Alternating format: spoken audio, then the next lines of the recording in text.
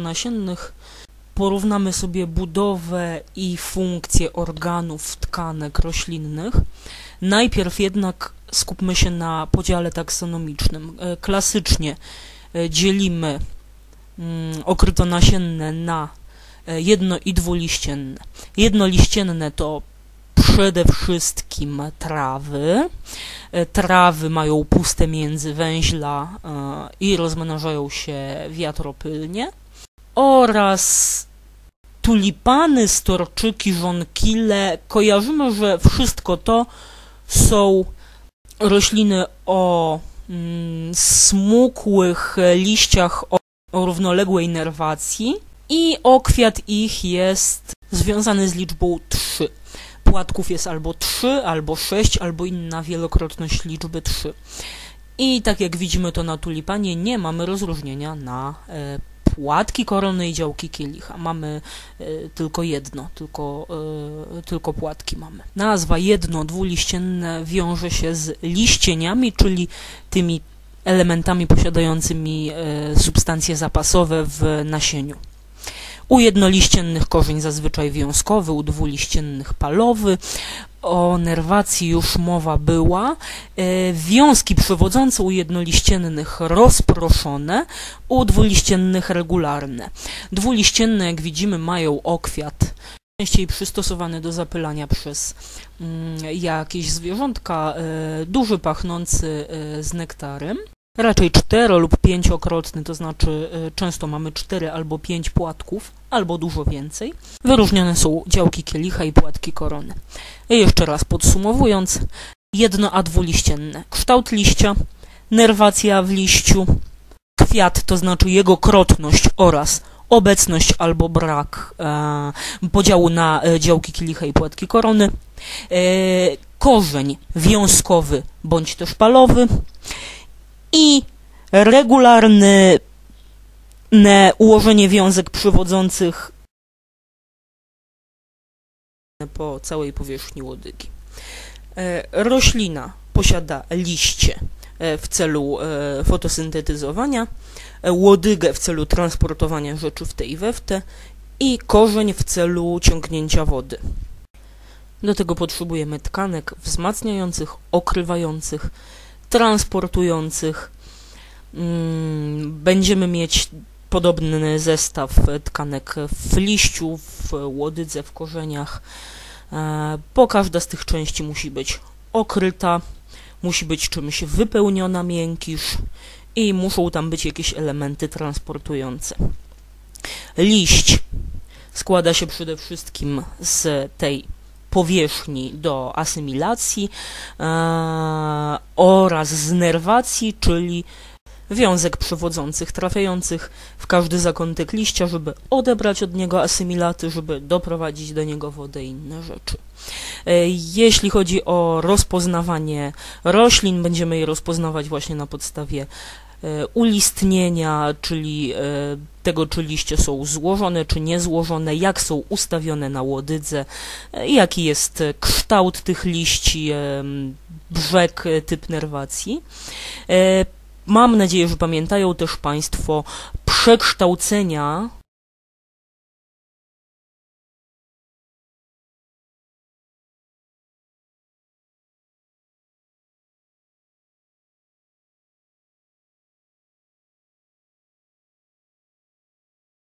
Liść składa się z bezzieleniowej skórki, zielonego asymilacyjnego e, miękiszu. Tutaj mamy miękisz palisadowy, e, najbardziej zajmujący się fotosyntezą i gąbczasty, e, który ma takie luźne przestwory, dzięki czemu tam może sobie wędrować woda i gazy, mm, dwutlenek węgla, tlen. Wiązka przywodząca złożona z drewna i łyka oraz na spodniej stronie liścia po to, żeby a, zminimalizować straty związane z gorącem i wysysaniem wody z rośliny. Mamy szparkę, e, czyli w skórce znajdują się aparaty szparkowe, które na skutek zmian turgoru, czyli zmian uwodnienia, e, otwierają się albo zamykają, umożliwiając wędrówkę mm, gazów oddechowych i e, z fotosyntezy i e, wody. Mm, pary znaczy się. Szparki to płci, przepraszam Chorwatów, ponieważ znikła mi nazwa strony, z której to wzięłam.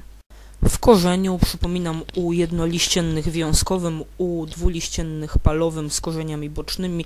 Zwróćmy uwagę przede wszystkim poza e, przekształceniami korzeni na strefy. Strefa korzeni bocznych, strefa włośnikowa. Włośniki to jest to, co umożliwia e, wchłanianie, przypominam, e, zawsze kiedy chcemy wchłaniać dużą powierzchnią, to zwiększamy powierzchnię przez e, wypustki, kosmki jelitowe, pęcherzyki w płucach, tak samo tutaj włośniki. Mamy takie mikrowłoseczki i makrowłoseczki. Każda komórka też jest tak pofałdowana. Kolejny slajd pokazuje, jak woda wędruje z włośników przez miękisz do naczyń, którymi wędruje sobie ku górze. I zwróćcie proszę uwagę na rolę transpiracji w e, ciągnięciu wody przez korzenie. Jak to transpiracji? Transpiracja to jest parowanie wody, pary wodnej przez e, aparaty szparkowe liścia, co ma liść do korzenia. E, na całej długości naczynia, którym wędruje woda, naczynko jest bardzo cieniutkie, występują tak zwane siły kapilarne, to znaczy woda tak jakby trzyma się cały taki słup wody i kiedy na samej górze następuje transpiracja, wyparowanie pewnej ilości wody, to na samym dole we włośnikach e, woda z ziemi jest podciągana do e, i wciągana do, do rośliny. Dzięki temu e, woda może na bardzo dużą wysokość, powiedzmy w takim mm, no jakimś wysokaśnym drzewie może sobie wędrować.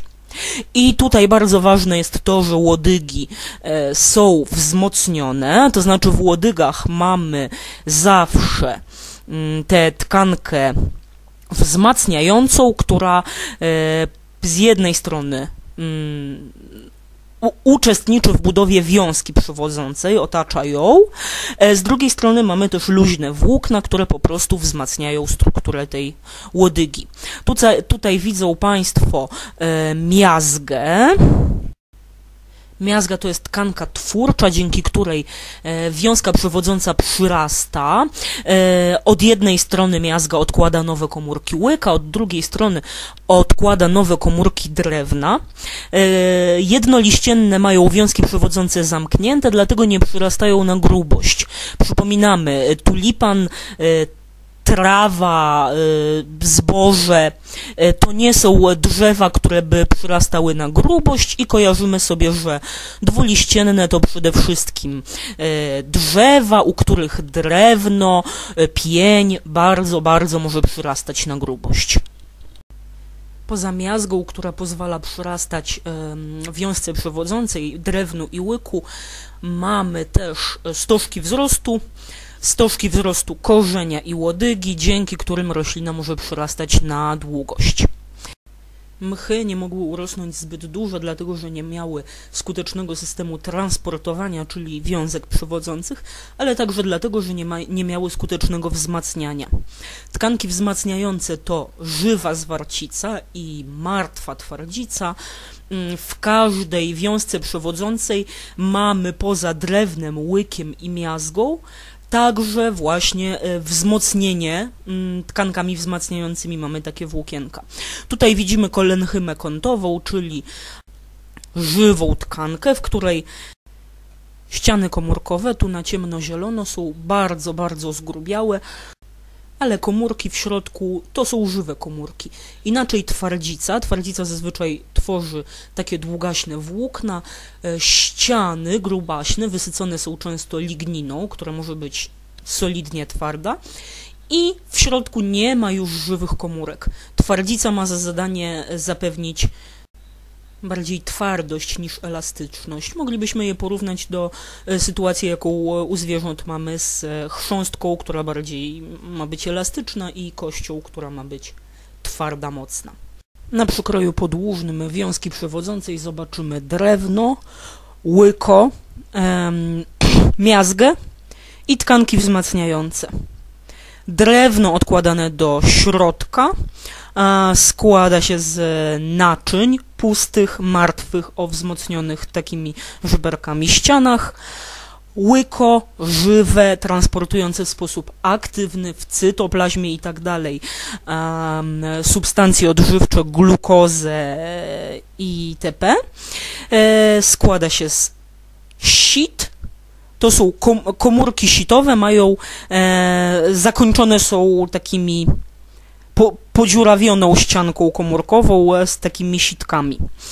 A mam nadzieję, że identyfikują Państwo to tutaj na tym niepodpisanym rysunku.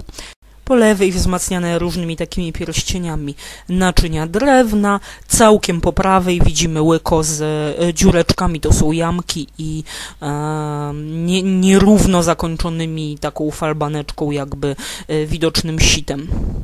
Wiązka otwarta, czyli taka, która może przyrastać na grubość. Miazga odkłada do środka komórki drewna, na zewnątrz komórki łyka. E, tak jest w łodygach roślin dwuliściennych. W korzeniu jest odwrotnie, to znaczy w korzeniu mamy e, na zewnątrz drewno, e, w środku łyko, co znaczy, że na granicy korzenia i łodygi to się musi zmienić.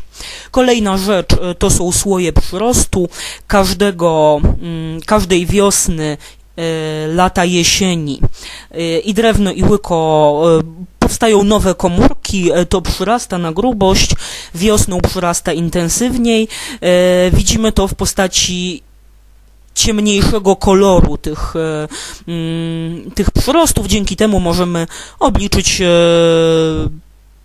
wiek drzewa, po prostu tyle, ile mamy tych słojów przyrostu rocznego, tyle lat rośnie to, ten pień, ta łodyga tej rośliny. Omówiliśmy budowę, funkcje, przekształcenia najważniejszych organów i tkanek u roślin.